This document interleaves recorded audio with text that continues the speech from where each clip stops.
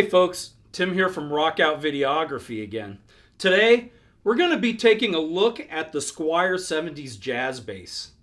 This one is one of the vintage modified series basses with the Duncan design pickups. They are now being offered as part of the classic Vibe series, one of which we also got to try out recently at one of our trips to Guitar Center.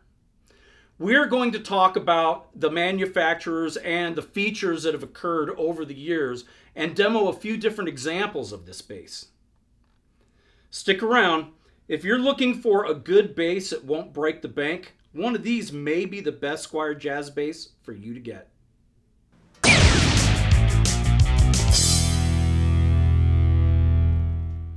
Fender has been having basses and guitars made overseas under the Squier name since 1982. About 2003 or so, they introduced the Vintage Modified series. These instruments were designed to be like vintage instruments that had been hot rodded or modified over the years. Let me tell you the story about this bass. In 2007, I walked into my local guitar center looking for a cheap jazz bass. I'd had a Washburn jazz style EBT bass that I'd sold back in 93 to buy my 62 reissue P bass. I tried out the two cheap Squier basses they had in the store that day. I think one was about $160 and the other one was under 200. I'm not sure. That was 17 years ago, but I didn't like how either of them sounded, so I tried out the Geddy Lee signature bass. I really liked the way that that bass sounded, but I didn't have the money in my budget at the time for it. The salesman recommended that I try this one, and I actually thought that it sounded better than the Geddy Lee bass. I played it for a while and ended up loaning it to my friend Jay for a recording project. When I got it back a couple of years later, I put some flat wound strings on it and started playing it at an open mic jam that I was going to on Sunday nights. For years, this was the only other solid body electric bass I owned, other than my P bass. It's a bass I would take with me on vacation if I wanted to practice during my trip. If you watch the channel, you've seen this bass before in some of the gear demos that we've done. I've also used it live with the Burnlackers a few times over the last couple of years. It sounds great live and records well too. You can see it in some of the live videos that we have on our YouTube channel. Let's take a close look at this bass like we would in a gear review. This bass was made in the Cort factory in Indonesia in 2007. We can tell by the serial number. IC stands for Indonesia Cort, and the first two numbers are the year of manufacture. I'm not sure what the body of mine is made of, but I think it's probably maple. That's what the new ones are listed as being. The bridge is the standard Fender vintage type that they've been using since at least 1957. It has three chrome knobs and a chrome control plate with an input jack. There are two volume knobs and a master tone knob. The knobs are not the push-pull type that give you additional controls. Inside, you can see that they use small mini pots and some cheap wiring. This is to be expected, and it's not really a big issue to me.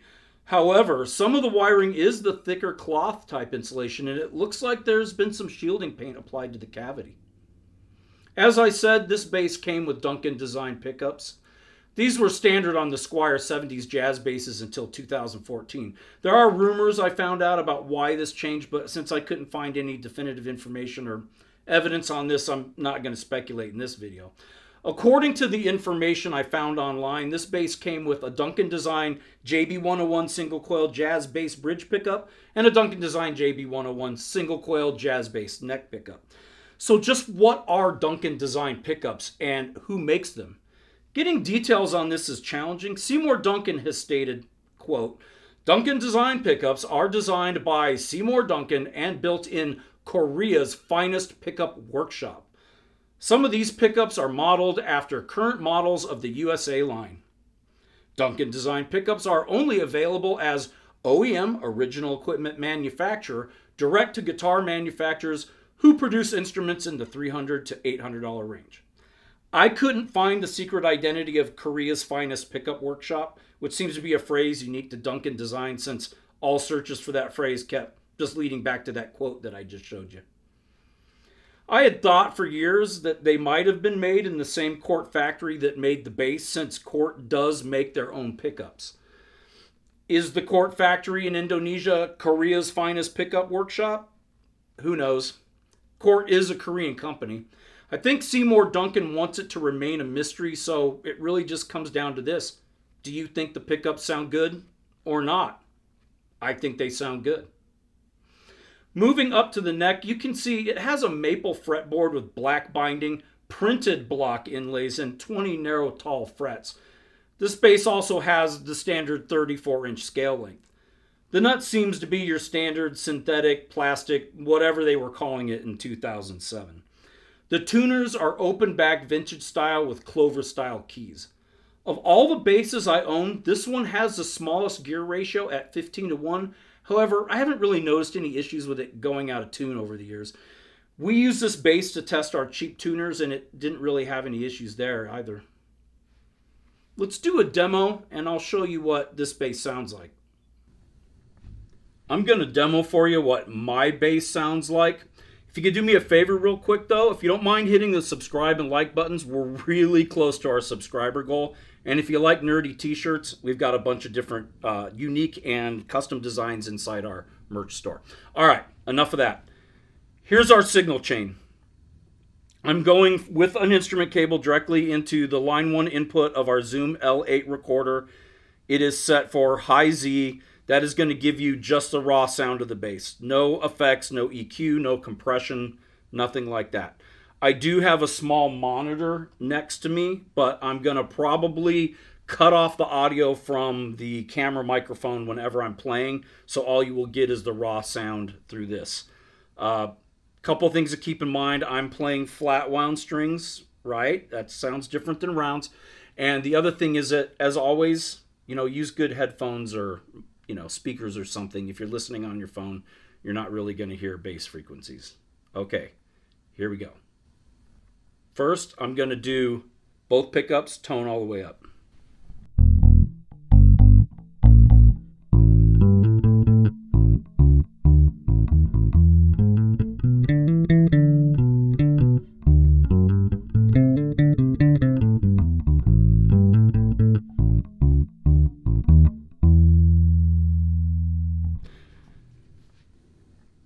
let me turn the tone about halfway down.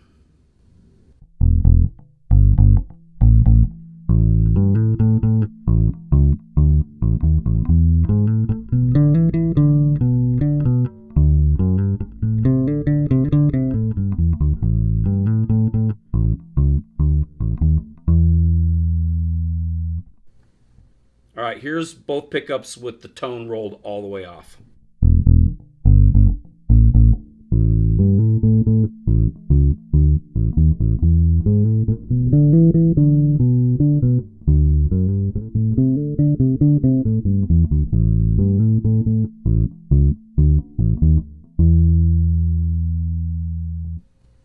Okay, here it is with just the neck pickup with the tone all the way up.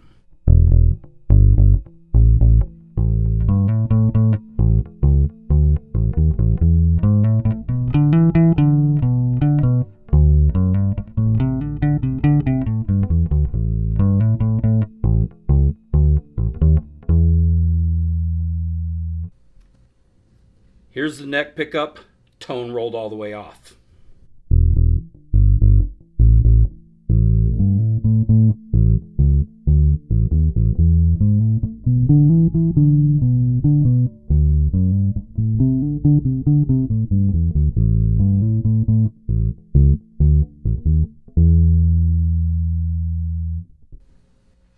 Okay, bridge pickup only, tone all the way up.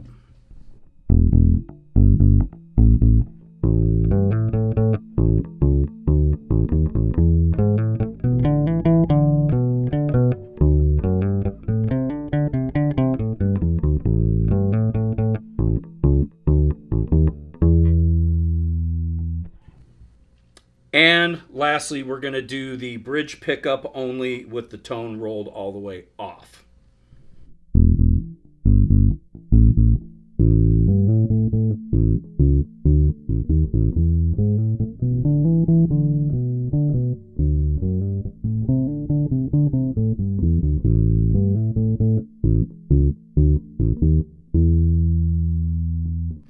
All All right, well, there you have it. That's my vintage modified 70s jazz bass with the Duncan design pickups.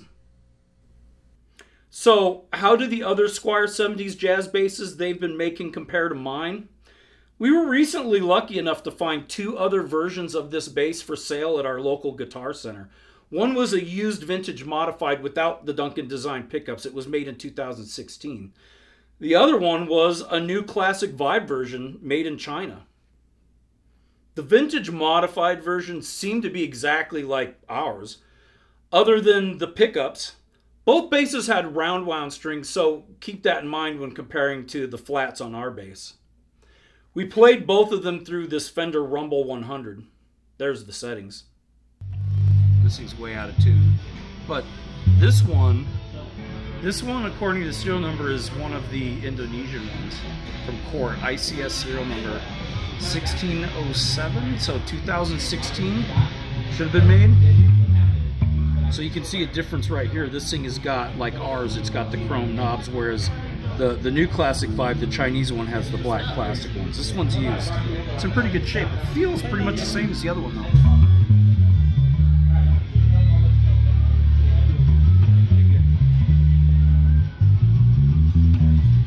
Sounds pretty close too. I don't think there's, so it's maybe a little bit brighter than the other one was. I haven't changed the amp settings, tone volume, everything's all the way up, so.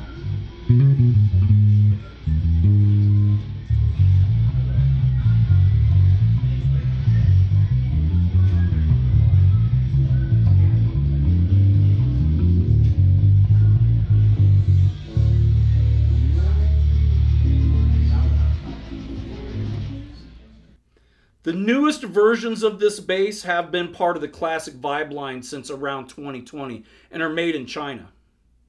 They still come in natural, like the ones we got our hands on, as well as a classic sunburst finish. There's also a black version. All of them come with black pick guards.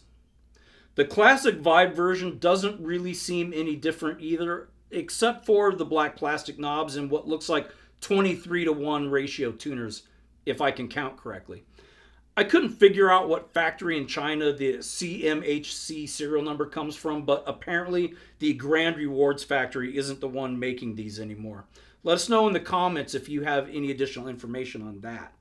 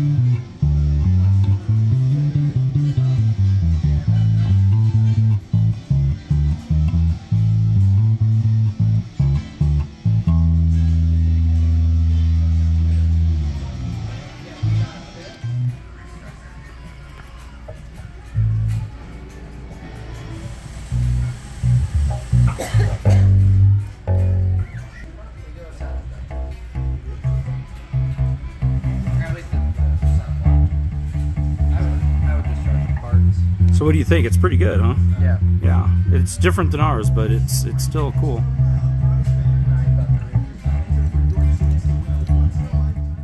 So, is a Squier 70s jazz bass the best bass for you to get?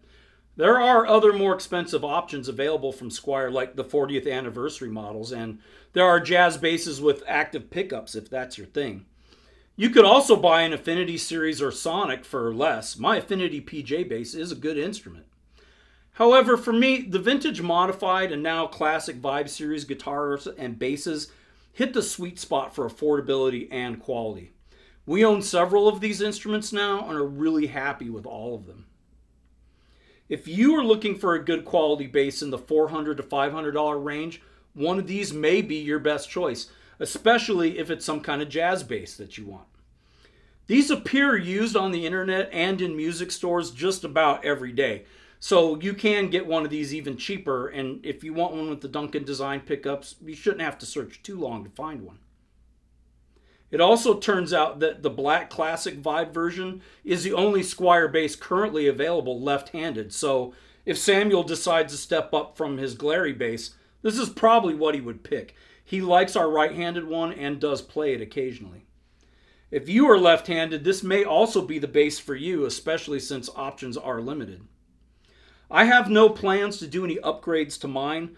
I want to keep the original Duncan design pickups, not because I think it will be collectible or worth more money stock. I just like it the way it is, and I think having these now discontinued pickups is kind of cool. If this was the only bass I had, I'd be fine. It wouldn't be the only bass I wanted, but honestly, I can and have practiced, gigged, and recorded with this bass, so it would get the job done without any problems. Let us know in the comments if you have any experience with these Squier 70s jazz basses and what your impressions are. If you have one, what do you use it for? Everything? Or is it just one of the basses that you use, like it is with me? Do you like flats or rounds? Thanks again to everyone who supports us by watching, commenting, liking, and subscribing. Until next time, have a great day.